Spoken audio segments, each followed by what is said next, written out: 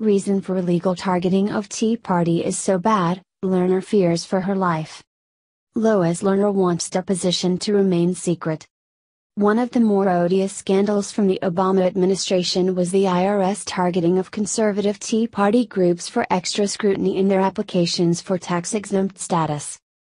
IRS official Lois Lerner initially admitted wrongdoing before she reversed that claim and attempted to assert her Fifth Amendment right against self incrimination in a congressional hearing, for which she was held in contempt.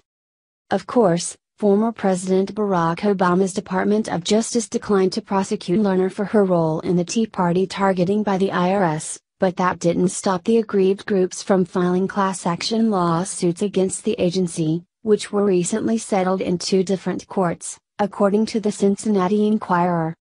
One of those cases, settled in Washington, D.C., District Court, resulted in a sincere apology from the agency to the targeted groups, but no monetary award for their troubles. The other, settled in a Cincinnati court, offered no apology or outright admission of guilt, but did include an undisclosed settlement that reportedly totaled in the seven figures. Interestingly, the Washington Times, which noted the settlement was around $3.5 million, reported that shortly after those settlements were reached, Lerner and her former deputy at the IRS, Holly Paz, filed a plea with the federal court to keep their testimony in the case sealed in perpetuity, as they feared substantial backlash if they were to be made public.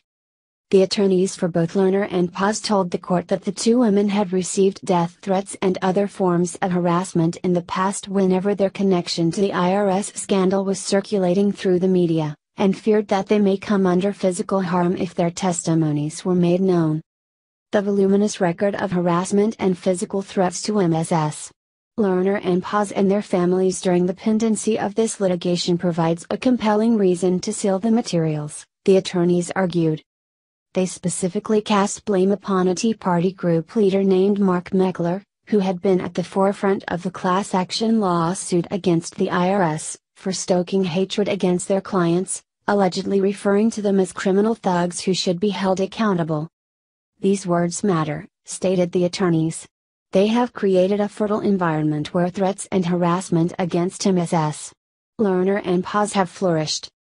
Meckler could only laugh as he recalled the event in which he had made the remark, and stated, Four years of harassing innocent American citizens for their political beliefs, and she's scared of a guy in a cowboy hat talking to a bunch of little old ladies at a Tea Party event? He further made the valid point that if Lerner and Paz had made no admission of bad or criminal actions on their part in their depositions, they wouldn't need to fear their statements being made public. The reality is because she knows she is guilty as the day is long and she doesn't want people to know what she actually did, Meckler said. It's hard to have any sympathy for the women. And frankly, I don't believe, Lerner is genuinely scared.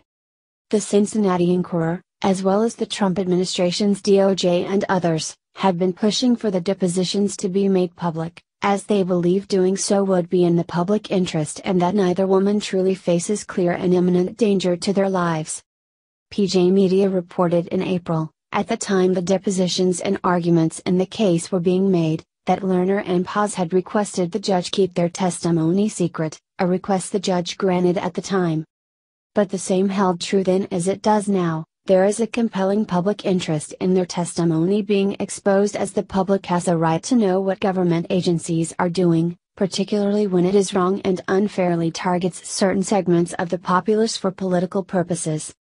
Hopefully, the depositions of Lois Lerner and her deputy will be made public sooner rather than later, if only so the nation can finally have some sort of closure in a scandal that reeked of corruption during the Obama years.